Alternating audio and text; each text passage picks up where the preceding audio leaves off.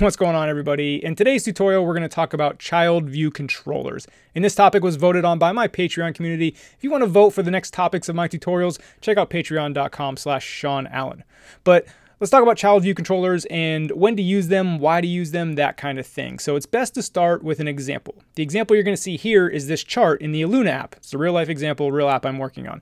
Uh, you can see this chart, you know, anytime you've created a chart, there's some complex code. So uh, you see I use this chart here on the bottom slide up card, but I also use the same chart in the profile history screen uh, to show, you know, the user's history. So instead of having that code in two places, I have a chart view controller that uh, is just a child view controller in those two screens. So that's a real life example on like when to use them. So what we're going to talk about in this video is how to do that.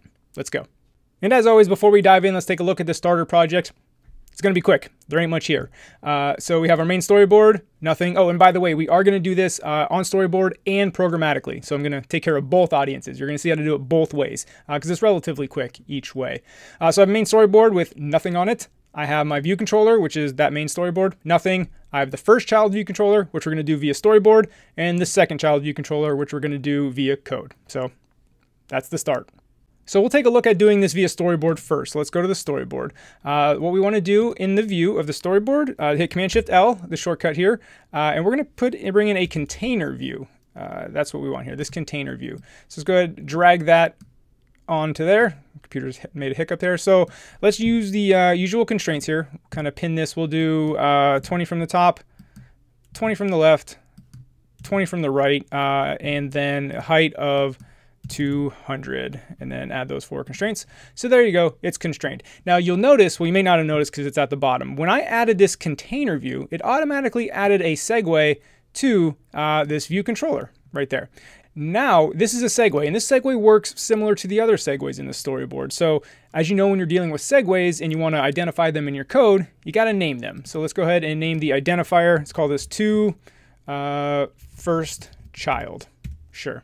And then also because this is going to be the first child VC, let's click on that, go to the identity inspector, and it is of class uh, first child VC. And if you're not familiar with that, that is this this file right here on the left, the first child view controller, right? So we have to tell storyboard, hey, this is an instance of first child VC. So now that we got that set up, let's try something real quick. So in first child VC, I can do, you know, view dot background color equals dot red, sure. Uh, so this should work to where you're going to see a red circle here. And again, this is just the super basics. We're going to build on this in a little bit. Cool. So there's my child view controller uh, in the container view, and the background color is red. So I set the background color there in uh, just the view did load of the view of the child view controller. Now, uh, you may need to pass data to the child view controller. That's actually very common. So I don't want to just use that example. Let's talk about how you would pass data uh, using the storyboard to this child view controller from your, your home view controller, if you, if you will. So that's through this segue, and it's basically the same thing as passing data through any other segue, but we'll go ahead and do that real quick. So in our view controller, let's go ahead and open up the function uh, prepare for segue, get the autocomplete. If segue.identifier, and this is what we name that segue, if you remember, uh, equals equals, and what did we name it? Uh, I always go back to the storyboard just to double check. Uh, so the segue, we named it to first child. So I always copy and paste this just to be sure. Don't want to retype it. Um, so in the, I'm sorry, in the view controller, if segue.identifier equals equals that, then we're going to do this. And to be honest with you, if you only have one segue on your storyboard, you don't need to have this identifier. I just get in the habit of it because like sometimes, you know, right now you may only have one segue, but in the future you add another one. So I always like to do this. And then again, we always talk about best practices here on the channel. So we don't want stringly type stuff. So let's go and create our enum real quick of uh, segues and static let. We talked about the static keyword in a uh, recent video, so check that out if you want. Static let uh, to first child equal, and then it is going to equal this string. So we'll cut, paste, and then we'll go ahead and use our enum down here. Uh, equals equals segues dot to first child. So there you go. No, no stringly type stuff for typos there. So if that uh, is the case, we want to set our destination view controller, which is, is going to be our child view controller. And this is the same as using segues anywhere else. This isn't anything special. Uh, it's just the segue goes to the child view controller that happens right during the initialization of this view controller, not you know when you press a button to trigger a segue. Um, so let uh, dest, this is what I always call my destination VCs, dest VC equals uh, segue dot destination uh, as, and it is a first child VC, and we cast it as a first child VC so that I get access to the properties on that. Uh, and that's if we have like custom properties. To be honest with you, I may not have to do that um, if I do not have any custom properties on there because I'm just going to do uh, view dot uh, background color uh, equals dot we'll do dot blue now just to prove that I passed this data. So the reason I'm going through this uh, example here is like if you had to pass other data to the child VC, you know, whether that was like a user object or an array or some other some other object, right? Oh, my code's messed up. I was like, why is he yelling at me? So it's not, I have to do dest vc dot view. There we go. That's what that's what needs to happen. So now if I hit play, we're going to run this. We should see the blue background, right? Because we passed the color to blue. And again, the background colors, you know, whatever. It's any data you need to pass. That's how you would pass it to this child view controller. And that's it for, for the storyboard version, right? If all you were here for was the how to do it in storyboard, there you go, we're done. But if you want to know how to do it in code, uh, stick around. That's what we're going to dive into now. All right, so to do this via code, the first thing I'm going to need is an instance of a child view controller. So uh, let's do let uh, second child VC uh, equal uh, an instance of second child VC. And all this is, is this uh, second child VC file here. You see right here, again, there's nothing in there. Uh, we're gonna do the same thing. I'm going to initialize it here uh, or I'm sorry, do the background color here just to show you, uh, you know, that it works. And then we'll do the same thing with passing data uh, as well, just like we did, just in code. So, uh, so now in the view controller, I set it as green. And now we're going to go ahead and do this in code. So I have uh, second child VC here.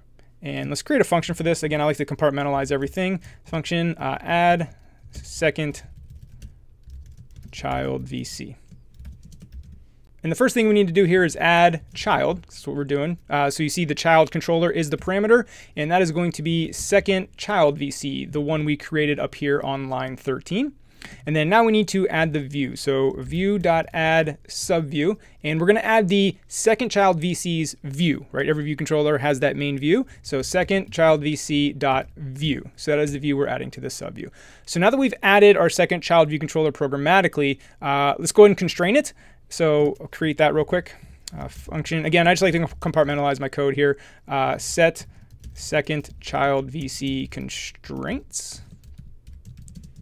And then I do have a snippet here because I want to save time. You don't want to see me do constraints. Uh, I have videos about doing programmatic constraints. So cool. We have uh, the constraints for the view set up. We've added it to the view. So you have to add it to the view, then set the constraints. Now we need to let the child view that it has been moved to the parent view. So second child VC dot did move uh, to the parent, and the parent is going to be self. So self is you know this this view controller, uh, and then we're going to call our constraint setup here. So now we're going to set uh, second child VC constraints. So what we just did there is the basically the same thing as putting it on the view controller in storyboard and connecting the segue. And then we got to call this add second child VC function in view did load, add second child VC. And then now if we run this, uh, we should see the green square at the bottom, just like we do the blue square at the top. Cool. The last piece of the puzzle here is how do you pass data? Just like we pass data through the segue, well, if you're doing things programmatically, like segues aren't a thing. So how do you pass data uh, to change this background color. So we're going to change it from green to yellow. It's, I don't know, I'm just yanking colors out of my ass here. Uh, so here you just, because we have a, a, instance of second child VC, we can just do second child VC dot view dot background color uh, equals dot yellow. And this is me passing the background color. So again, if you had an array, uh, a user object, whatever things you want to pass to this child, uh, this is where you would do it. So if I run it again, we should get the background color of yellow. And there we go. So that's the basics of using child view controllers. I uh, hope you enjoyed the video. If you like what I'm doing here, consider subscribing. Put out new videos all the time, and we'll see you in the next one.